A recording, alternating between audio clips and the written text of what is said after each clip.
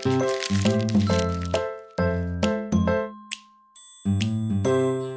guys, Thunder E here, and um, I haven't done this kind of video in a while, so I'm actually going to show you today how you can set up a recovery drive for Windows 8.1. So if you have a recovery partition in your PC and you want to make a separate drive uh, externally so you can actually take it with you, um, or you know, in case something happens and your system's corrupted, you can use it. This is a very quick, simple setup. So the two things you need are a Windows 8.1 PC and of course a USB flash drive to create that recovery drive. And I suggest eight gigabytes or more. That will be safe and fine. Even though I'm using 128 here, really doesn't matter. So um, let's go ahead, jump in, and I'll show you exactly how to actually set up that uh, recovery drive. All right, so we have our USB drive plugged in, and that's it here. It says removable disk. What we want to do, the easiest way to do this is actually just go to the search tab and search for recovery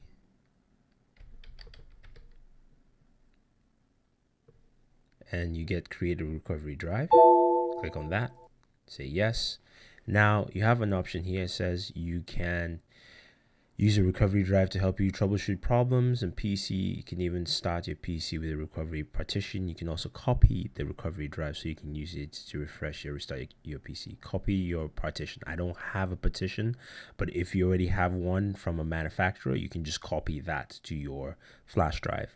So I'm going to hit next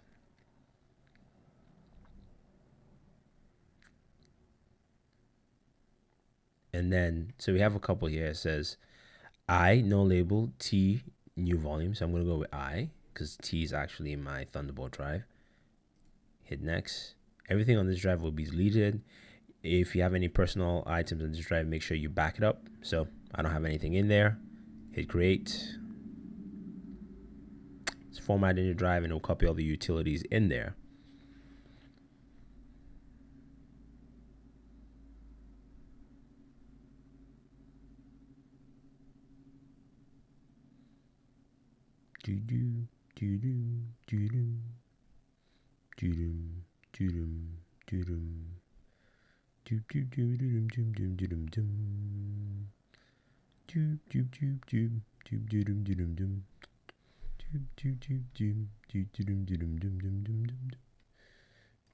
and there you have it. Recovery drive is ready. Finish.